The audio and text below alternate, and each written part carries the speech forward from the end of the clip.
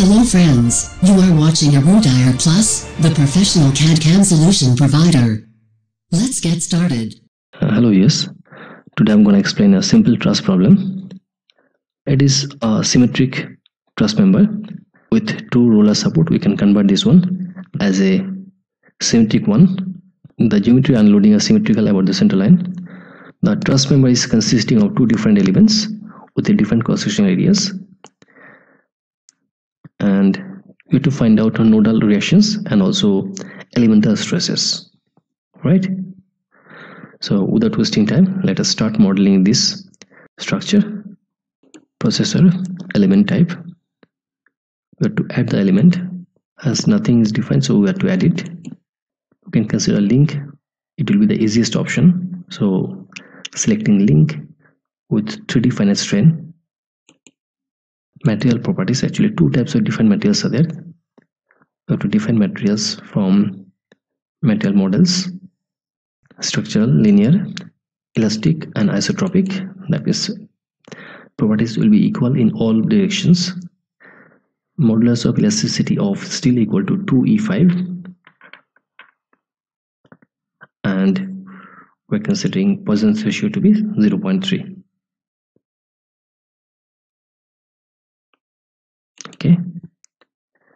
it will apply for second material.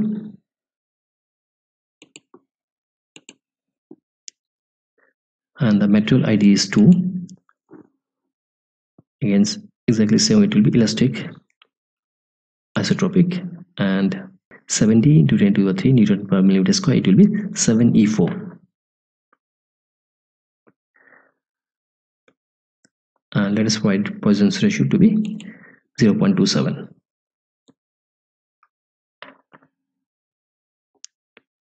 so two materials defined. One is steel and another is aluminum let us see that object. And the cross sectional area is different. We are having two different cross sectional areas of 100 millimeter square and 50 millimeter square. Steel is made up of 100 millimeter square and aluminum is 50 millimeter square. We are considering three different elements. Element 1 and element 2 made up of steel and element 3 is made up of aluminum so let us provide cross sectional area of these members. It will be coming from sections. Link. We have to add the areas.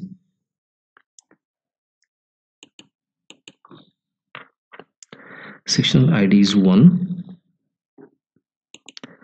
let us provide name to this one as steel and cross sectional area is 100 millimeter square. Apply. For the sectional id2 we consider aluminum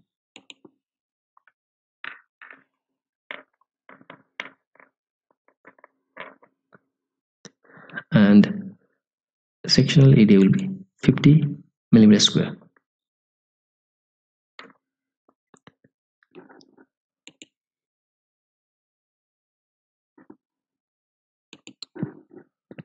okay. So cross sectional area is provided. Next to that we have to model that. And it is better to model with the nodes. In that case we need not go for meshing. So we are starting modeling with nodes. Let us create nodes in active coordinate system. First node will be created at the origin. So let us apply. First node is made let us see the drawing and go for modeling. Second node will be created at x equal to 866 and y equal to 500 applied.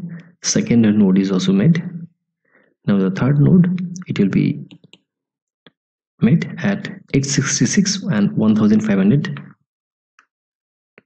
millimeter away. Done so three nodes we have already defined. We have to connect these nodes in the form of elements and that can be done using elements. And also we have to see that element number one and two are made up of steel element attributes. We have to fix this one as steel and let's connect element number 1 and 2 through nodes. Select node number 1 and 2 apply. Similarly we have to select node number 1 and 3 okay. So these two elements are made of steel. Next to that you have to apply different material element attributes it will be material number two. At the same time it will be made up of aluminum okay done. Auto numbered through nodes. Let us connect node number 2 and 3 okay so our model is ready. But at the same time we to see the drawing that at this location we are having roller support it is capable of sliding in the downward direction but it cannot move in the x direction. So what we'll do is we'll change the orientation of this node. We'll rotate the node by 90 degree. Create nodes. By rotating node coordinate system by an angle. Select node number 2 apply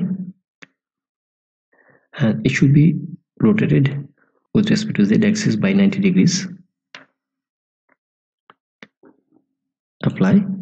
Similarly node number 3 to be rotated with respect to z axis by 90 degrees.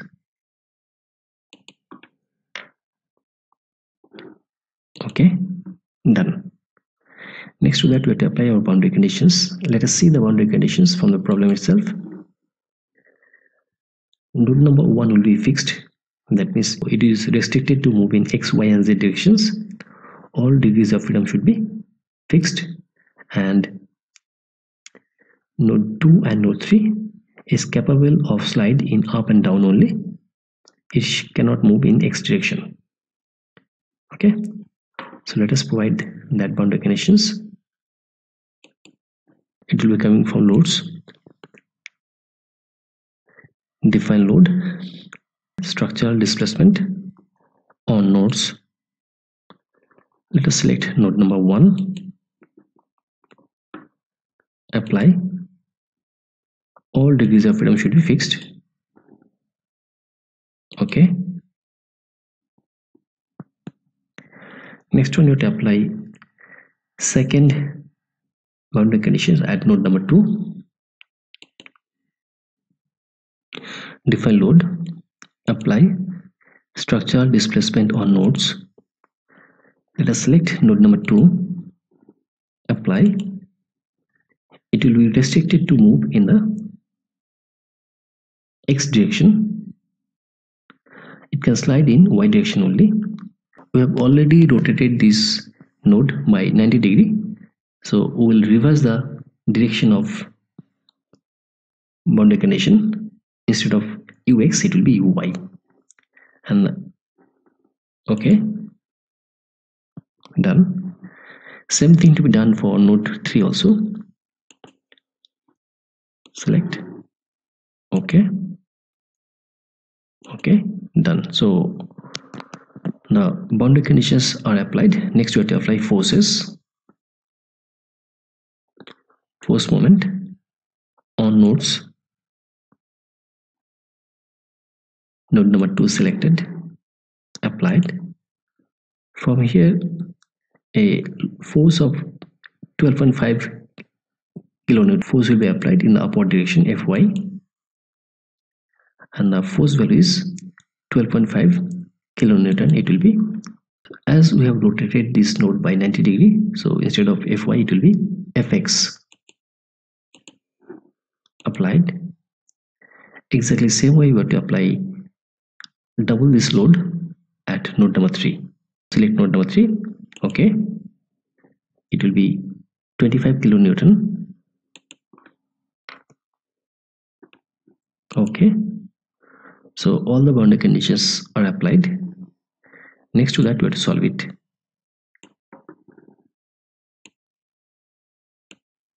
Solution. Current ls let us solve it ratioing solution is done. That means everything is perfect. We can view our results from general post processing. Initially we'll see your results from plot results. Deform shape and we're going to see deform plus undeformed that means we're going to see the original drawing and the change drawing. It is showing that white drawing is the original drawing and blue is the change drawing by the application of force in the upward direction we can view this one in the form of 3d plot controls style size and shift and the display of element should be on. As the cross section is very small so this is the object and for better view we can select the isometric view also. Right this is the object next to that we're going to see some other things like nodal solution and we're going to see displacement vector sum it is showing that maximum displacement occurs at node number 3 and the displacement value is equal to 2.8159 millimeter. And minimum displacement occurs at node number 1 it is 0.204054 millimeter. Okay. The same results we can view in the form of listing. So list results can be viewed. Nodal solutions we want to see displacement vector sum. It is the same representation what we saw before. Right? It is showing that maximum displacement occurs at node number 3 which is 2.8124 millimeter. Right? Okay. Next one we want to see reaction solution. We want to see reaction forces at the supports. Let us select all items. It is showing reaction at different supports. We in three supports. You can see the reactions at different nodes. One two three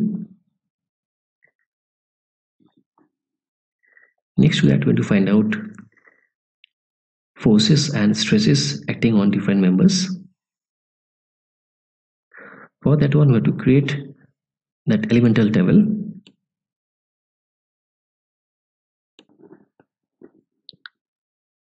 element table define element table nothing is defined so we have to add it.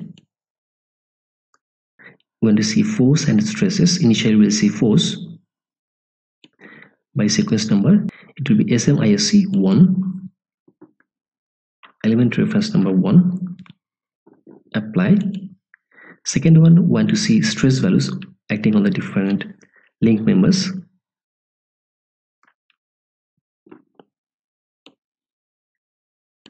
Sequence number and ls1 okay. Update and close going to see the elemental stresses and also forces acting on the different members. So plot elemental table. And we're going to see stress values on acting on the different link members.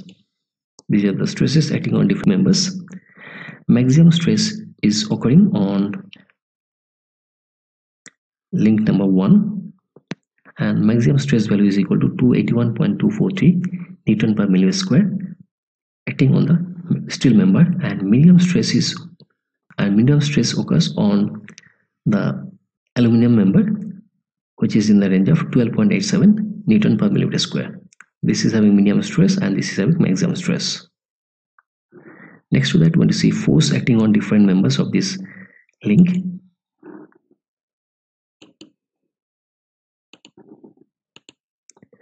We can see maximum force is encountered on link number 1 which is 28.124 kilonewton and minimum force is acting on the aluminum member which is 643.5 newton.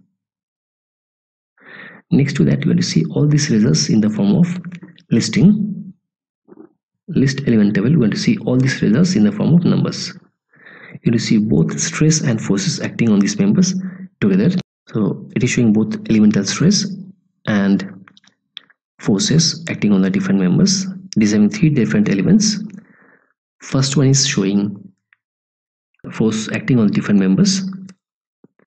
It is showing that minimum force is acting on element number 3 which is 643.5 newton and maximum force is on element number 2 which is 28.124 kilonewton and similarly minimum stress is acting on element number 3 which is 12.87 newton per millimeter square and maximum stress is acting on element number 2 which is 281.24 newton per millimeter square. Okay? So this is all about our today's simple analysis of a truss member. Right thank you so much for watching this video. Thank you again. Bye if you like this video please subscribe and share. And if you have any kind of doubts please write to me. Thank you so much for watching this video. Thank you again. Bye